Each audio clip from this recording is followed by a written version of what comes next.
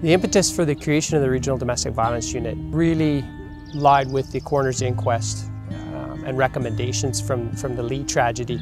That's where Peter Lee ended up killing his, his young son, uh, his estranged wife, uh, her parents, and then himself uh, in 2007 in a, in a, local community.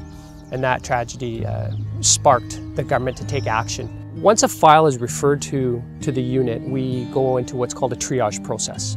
So we gather police information, we gather community corrections information, we gather open source information. We base our decision on primary risk factors and we base our decision on what the next steps are for that case.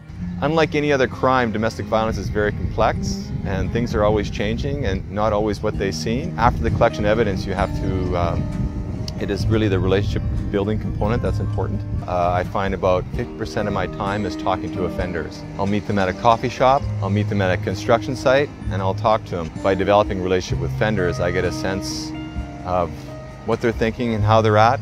To me, that's a big part of uh, increasing victim safety, is getting a sense of where the offender's mind's at.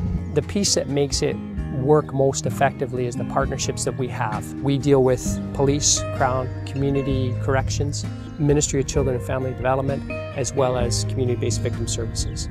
Key success for Ministry of Children and Families is keeping children with their moms and families, keep, keeping them out of care, well supported, providing resources. Victim services in this unit play a significant role in terms of providing support and safety to victims. We're able to develop a relationship with victims that is quite different from the ones that they can have with police or the ministry. What it has done for them at the end of the day is help them get a greater sense of safety and from the offender's perspective it has held him accountable for what he's doing in the relationship.